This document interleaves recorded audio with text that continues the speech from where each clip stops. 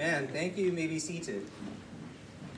I greet you all this morning in the wonderful name of Jesus. Amen. God is good. Amen. Life isn't always good. I think we're old enough to know that. We've got our challenges, we've got our issues, we've got our problems. I mean, this world is not a nice place. For those of you who don't agree, just look at what we're sending our children out into and uh, the, the panic sometimes that we feel.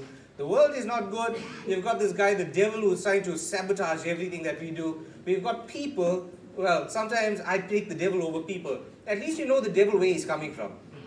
At least you know the devil, his angle is, I'm going to take you out. People. People are funny. Sometimes people smile, but they got daggers in their heart, uh, it's pointed. And so, sometimes when people say, well done, you know, inside they're saying, you bloody swine. How come you get to go there? And I, so, uh, with all these challenges, with all these difficulties, with all these things that we have to face, there's one constant. Yes. There's one firm foundation. His name is Jesus. He is the firm foundation.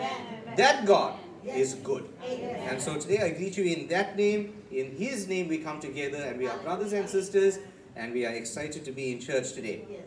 As has become the habit over the past few weeks, I want to thank all those who worked so hard to get the church ready for service today. Uh, you look at everything, it's not necessarily that uh, everything is in good order. There's a lot of work that's happening in church during the week. We want to thank God that during the bad weather there weren't any issues in church. I hope your homes are safe as well. In particular, this week, I want to thank the music department. We've been having a few challenges with the technical side of things over the past few weeks. They met this week, they worked hard, they got everything sorted out. Will you just appreciate all those who work hard to get the for service so that we can be here and just worship God as we do? Will you please turn with me to the Gospel according to Mark? Mark chapter 11, uh, we're going to read verse 12 and then uh, we will go to verse 22 and 23. Mark 11, verse 12, and then 22 and 23. If you're following with us in, your, in the NIV, the New International Version, it's uh, not going to be exactly the same because I'm reading from uh, one of the King James versions, King James Version translations.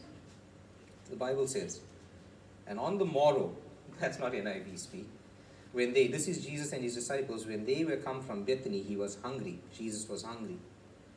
And seeing a fig tree afar off having leaves, he came if haply he might find anything thereon. And when he came to it, he found nothing but leaves, for the time of figs was not yet. And Jesus answered and said to it, No man eat fruit of you hereafter forever. And the disciples heard it. Let's go to verse 22. Uh, well, let's go a bit before that. Let's go 1121. And Peter calling to remembrance said to him, Master, behold, the fig tree which you cursed is withered away. And Jesus answered, answering said to them, Have faith in God. Amen. Have faith in God. Hallelujah. For truly I say to you, that whoever shall say to this mountain, Be you removed and be cast into the sea, and shall not doubt in his heart, but shall believe that those things which he said shall come to pass, he shall have whatever he said. We thank God for the reading of his word this morning. Continuing from last week, where we started talking about faith, you have to have faith. Amen. The Bible says, without faith, it is impossible Yes. to please God. It, and sometimes we live lives where we think we can live a certain way and it pleases God, but it's not the religious activity. It's not ticking the register. It's not doing the right things that brings us into right standing with God. It's our faith walk with Him that pleases Him. The Bible says anything that is not done in faith is sin. And so this past week, as I was driving, uh, we see many of them in our area. There, there was a robot that had been knocked over. And this robot on its side was still shining. It was still giving red when it had to give red. It was still giving amber when it had to give amber. It was still giving green when it had to give green. For those of you who don't know how robots work, green means go, amber means go quickly, red means put down and go. That's, that's a South African way of, of understanding robots. But this robot was shining, but it was on its side, which means until I drove past it, I didn't even notice it was, it, it was still working. That's how many Christians live their lives. They're doing the right things. But if you're not in the position that God put you, if you're not in the position that God called you to be in, if you are not positioned as the word expects you to be positioned, uh, then it's a bit useless. Because if we say, let your light so shine, the Bible says, oh, nobody lights a candle and then puts it under a bowl. And so positioning is important. Your position, your heart attitude, your posture of your spirit man, of your soul, of who you are, it matters. And so we come to this story. And we look at the lesson that Jesus was teaching his disciples.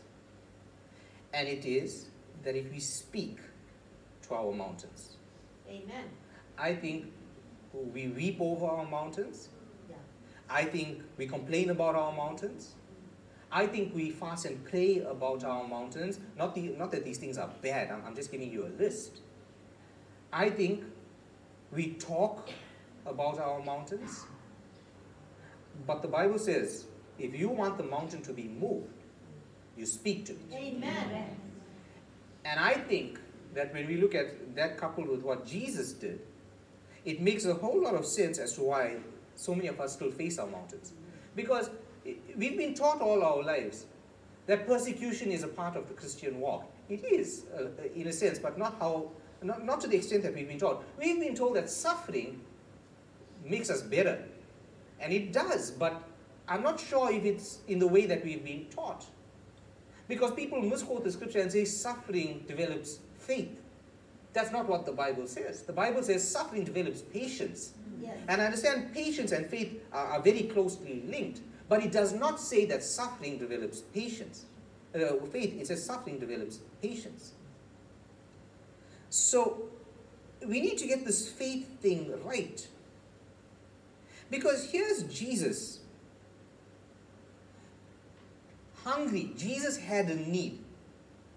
We have needs. We have problems. All of these can be encapsulated in that word. We have a need. Goals, hopes, dreams, it's a need. Jesus had a need.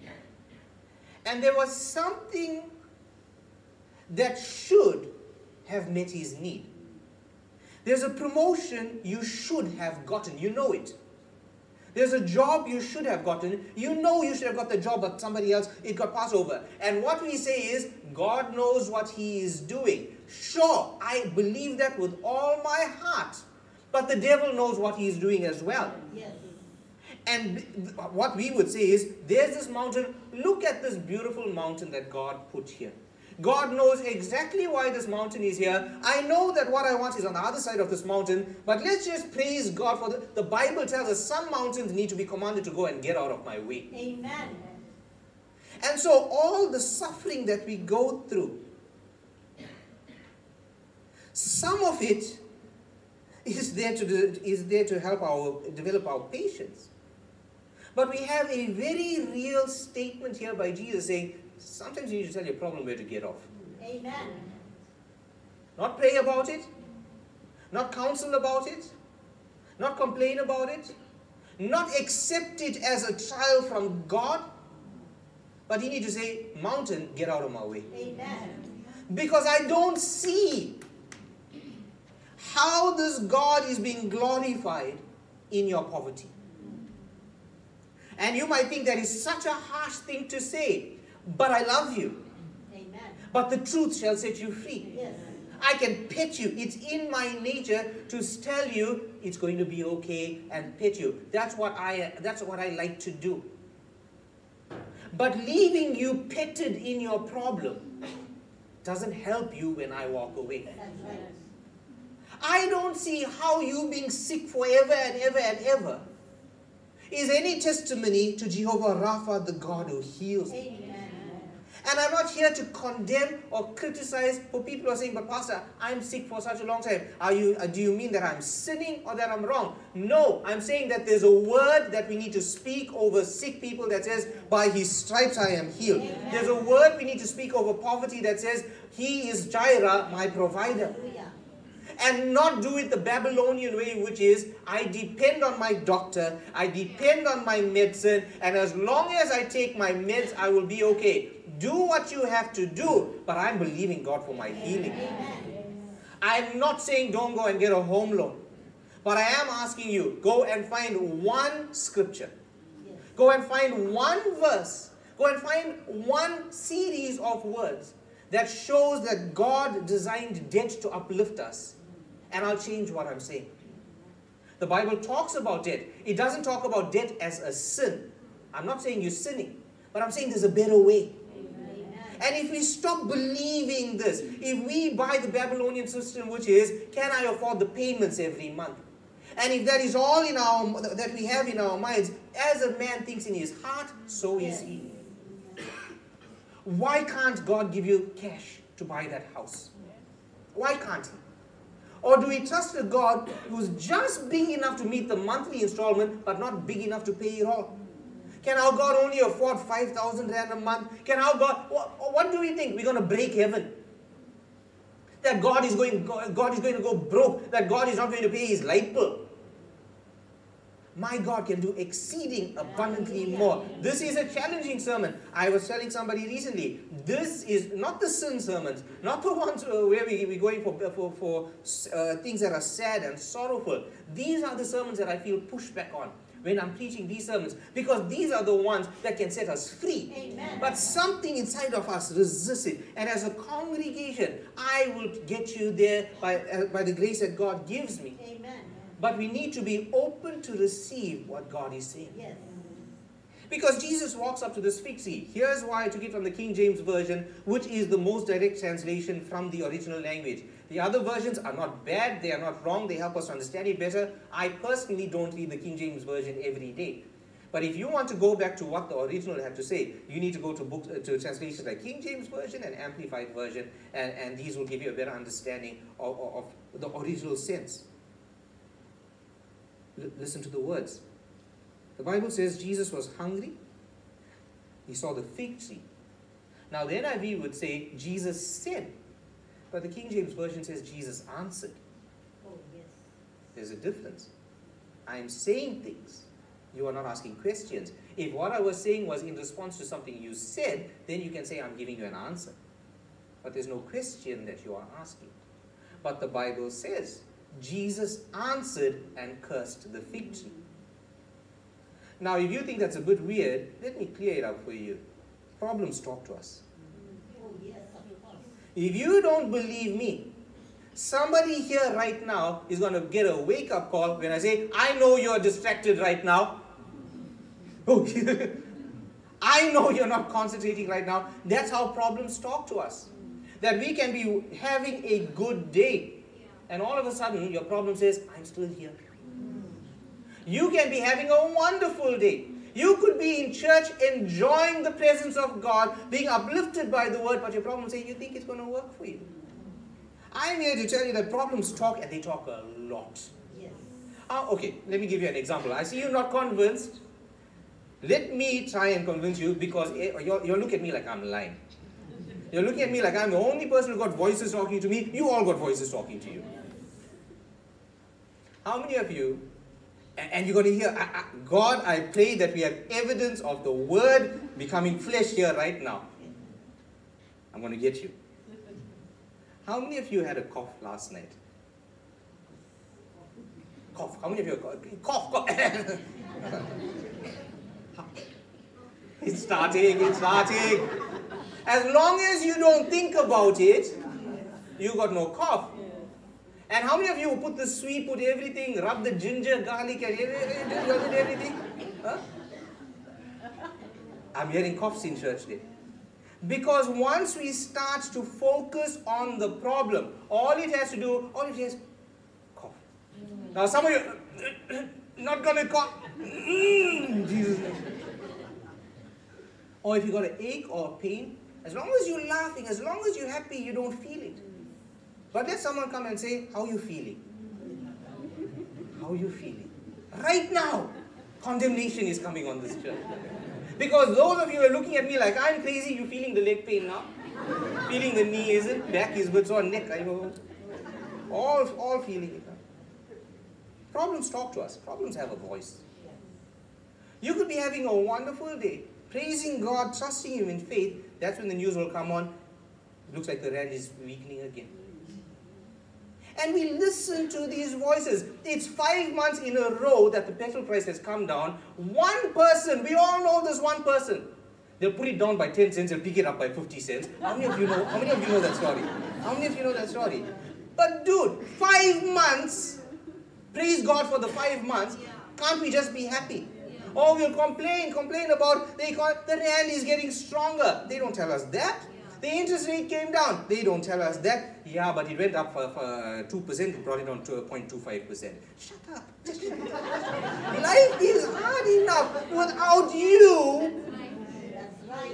And if we keep our mouths closed, we will not answer the problem and say, Stop it. I rebuke you.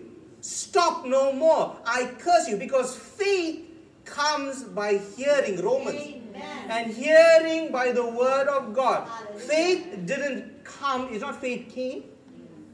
Faith comes. It's a continuous word. Yes. Which means if your hope or faith is coming to church on a Sunday and then you say, why is it that by Wednesday or by Thursday I'm feeling low again? It's because Sundays cannot keep feeding you. Yes. Faith comes today and faith comes tomorrow and it keeps coming because faith comes by hearing. Not first, faith came because we heard. Faith comes by hearing the word of God. The word of God, the words that God says, godly words spoken over our situations. Because if I come and tell you, if you say, Pastor, I'm feeling so sick, and I come and tell you Jesus wept, it's got nothing to do with what you're going through. Or if you say, Pastor, my marriage is so bad, I don't know what to do, and I give you the scripture, it is good for a man not to marry.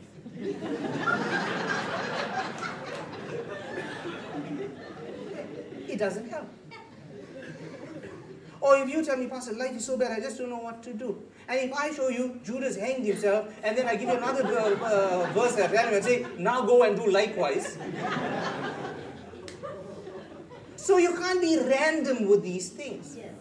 You have to have this word because faith, faith for what? Faith for what I'm going through today Yes. comes. That's why it's not something that was given yesterday. By hearing, I don't know what you're going to go through tomorrow. This might be good for today. This might be good for what you're going to face two years from now. The words that God speaks over that situation. And it doesn't have to be spoken by me. Here's how we learn all learning either happens through a teacher or a teaching medium, YouTube, a book, a teacher, or experience. This is my gripe with suffering. God will always send a teacher first. He will either put something in your spirit by His Spirit, He will either give you some access to a book or to church. If you stay at home when you should have been in church, you missed the opportunity to be taught. Which then means you only have experience to teach you what God wants you to learn. In my observation, let's make a distinction. This is not Bible, this is my observation. Life goes a bit better. Life is easier when we learn from the teacher Amen. Amen. and don't miss the lesson and then have to be taught by experience. Experience is where the suffering comes in. Yes.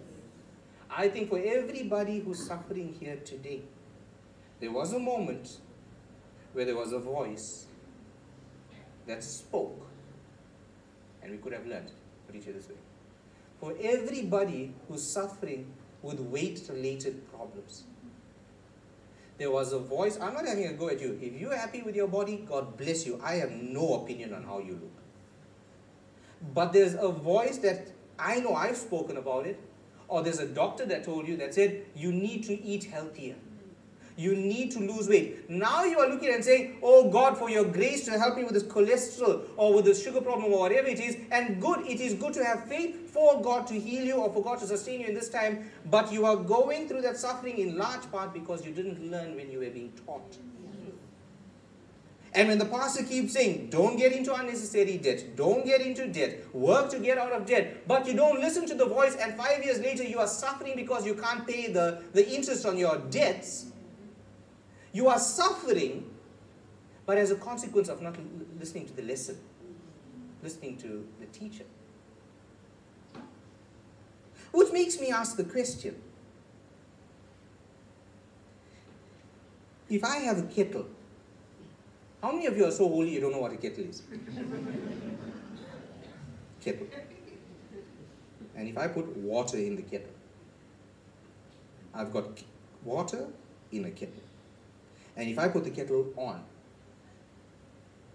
and there's no load shedding, what do you see immediately? Nothing. But as an inevitable consequence of what I've done, the water will boil. Agreed? Or do I have to get the urn and give you a demo?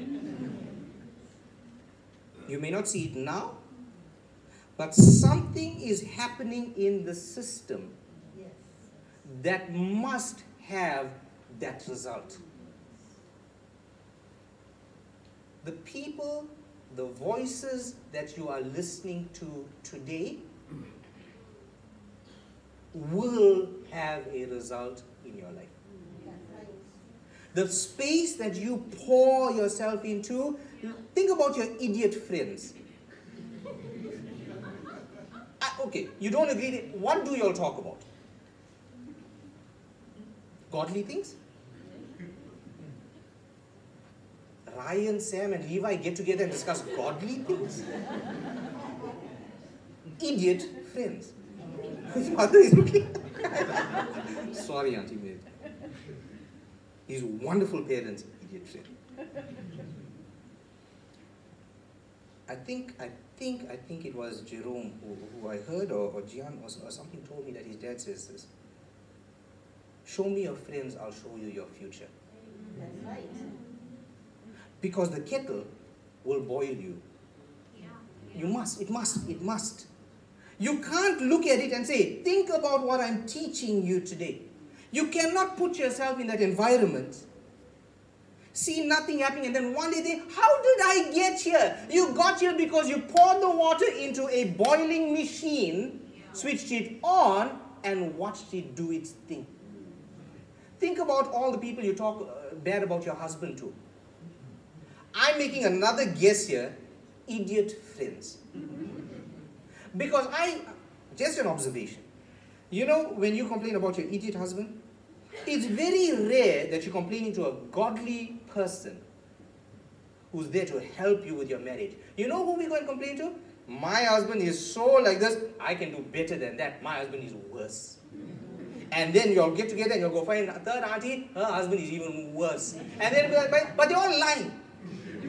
But they're all lying because we just got this thing, I'm better than I can, I can. You think your life is hard, wait till you hear what I went through. And we start making things up. And eventually, woman number four, after she got in that conversation, is going home and taking off with a poor, godly husband who's fasting and praying and just living a good life because of those rubbish friends. Because you boil to the temperature of what you pour yourself into. Amen. That's people. What are you watching on YouTube? What are you doing on your phone, on it? Those voices are speaking to you. There's a Bible app on your phone. I know. I know you. You downloaded it because you're holy. I know. I know. But you'll just scroll through it. You'll just scroll through it and you'll do all of these things. What is that voice telling you? What you watch on TV, mm. the music you listen to, the church that you go to. I'm not here to condemn anybody or criticize anybody, but I do sometimes think that some pastors don't know what they are talking about. Because you can sit and listen for one hour. You know, have you ever been in a service? If any of you think about me and this church, I curse you in the name of God. May fleas attack you tonight. Nits and lice and every, every plague from Egypt. When you go, there to be frogs in your bed. How many of you have ever sat in a service for so long that you struggle to wake up when it's finished? and you're there, and it's anointed, but but but it's so long that you need healing. if only you could walk to the altar call. And at the end of it, someone says, Hey, so what you thought about it? And you really don't know what was said, but they spoke for one hour. Anyone thinking about me? I thought not. The voices matter. Yes. Because the Bible works both ways, not just the good way. And if the Bible says, if you speak and the mountain will move, it's the same person speaking a word, which means if all we do is speak negative words, it will work. Yes. It works. Yes. You can't just pick the nice parts of the Bible. If I speak over my child, may the Lord bless you and keep you. Imagine if every parent in this church did this. Where you lay hands on your child. May the Lord bless you and keep you. May the Lord make his face to shine on you and be gracious to you. May the Lord smile on you and give you peace. May the threefold blessing of God the Father, God the Son, and God the Holy Spirit be your portion both this day and forevermore. Amen. That will work. But when we say, hey, you're rubbish like your father, go and leave me alone, you're worrying me the whole day, stupid, stupid brains, like, it works. Yes. It works. Imagine if wives blessed their husbands as they left uh, home. Imagine if husbands blessed their wives with the words that we speak. Because whoever said sticks and stones will break my bones, words won't hurt me, they, they, they don't know what they're talking about. Hit me with a stick, throw a stone at me, I'll get better. Words hurt like crazy. Yes. Jesus answered the problem. Because the problem said something to him. What is your problem saying to you? Not good enough, gonna die alone, not enough money, not enough education, gonna be sick.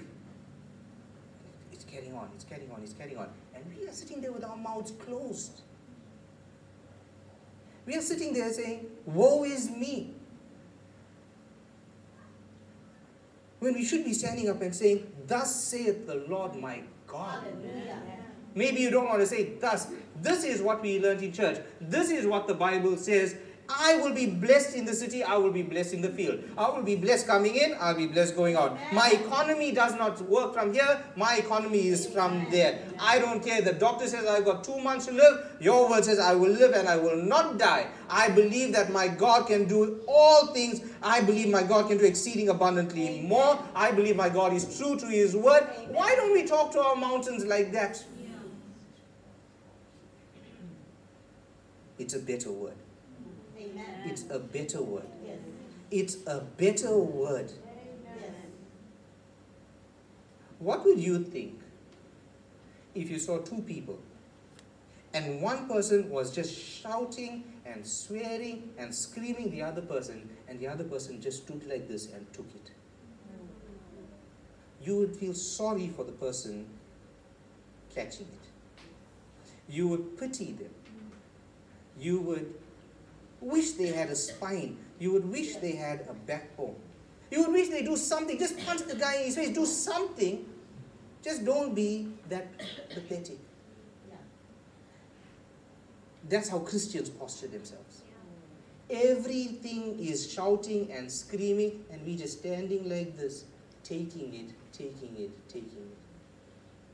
Don't you know that you are a child of the living God? That what you think is on top of you, He put under your feet.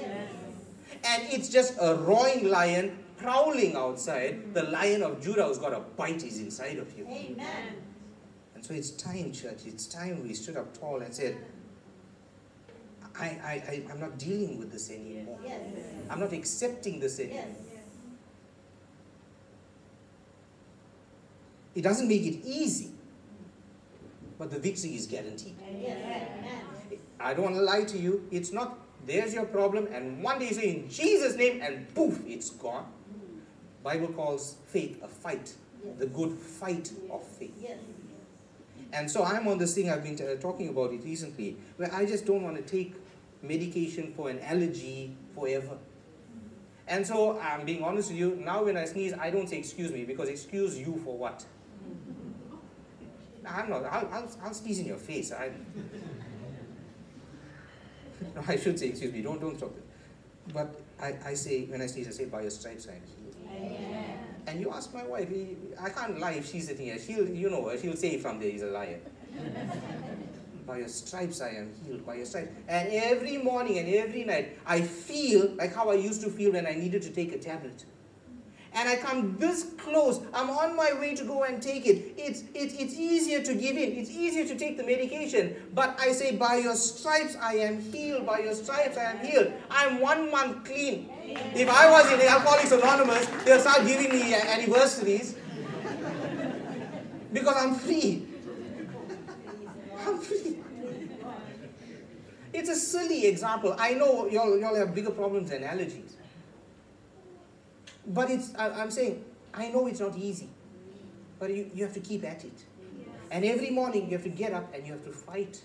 And you have to speak the words. And you have to, you have to stand in faith. And you have to not do the easy thing and do the difficult thing because that will be, end in defeat. And this will end in victory. And you need to cut out the voices that say, do this. And you need to put in the voices that say, do this. And for all of us here today, we should go home and audit our teachers, the voices that are speaking to us. We need to go home and audit what we say to others because we are their voices in their lives. Yes. And we need to clean up our words and stop gossiping and stop cursing and stop putting people down because God has put better words, the power of life and death in our tongues. And if I'm going to speak into your bad situation, let me be a life speaker into it. Not, and I can be telling the truth. You adulterer, you, you know, the Bible says you're going to burn in hell. I can say, Jesus still loves you. Amen. And Jesus still has a plan for you. And He died for you. And people won't uh, let you get over it, but God has forgiven you the moment you repent. I rather speak these words into people's lives. Yes. And so, for everybody here today, there's Babylon, there's Christ. There's problems, and there's faith. And there's mountains, and there's a mountain moving God. And the whole world says nothing can be done about this. But my Bible says all of this. And so we have to choose today whom we will serve. Yes. Because no man can serve two masters. And I can't come in church and say, Holy are you, Lord, and be encouraged and say all my loudest amens and go in the world and be this. No. I choose Jesus. I choose Jesus. I choose Jesus. In my sickness, I choose Jesus. Amen. In my lack, I choose Jesus. In my troubled home, I choose Jesus. In my troubled workplace, I choose Him still. On my deathbed, I choose Jesus. Amen. Because He is the way, Yes. He is the truth, Yes. He is the life. This got no victory for me, Yes. this got no defeat for me. You God. bow your heads?